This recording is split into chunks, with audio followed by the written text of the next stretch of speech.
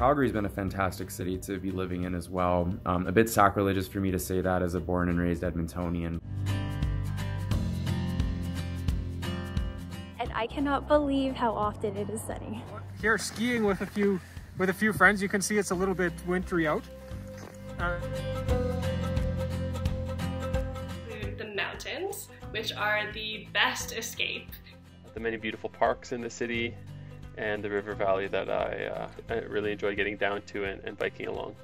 I have a Husky Collie Cross and there's so many opportunities for him, whether it's in the backyard, in the community, out in the mountains.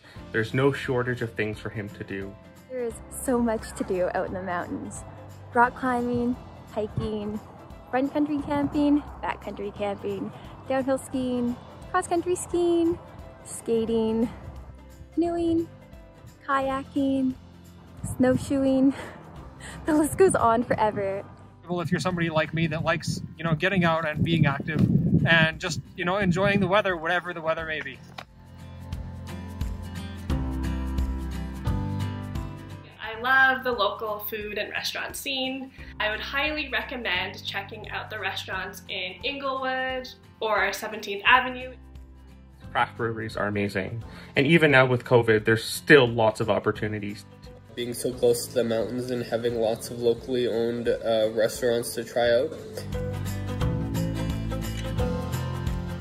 Really, it's quite a young city and it's a very fun city in terms of having lots of things to do.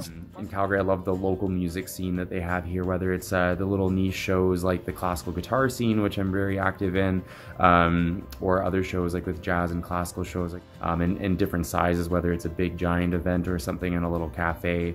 Um, even during COVID, the music scene's been able to adapt. My favorite event of the entire year has to be the Calgary Folk Music Festival, which actually happens right over there at Prince's Island Park.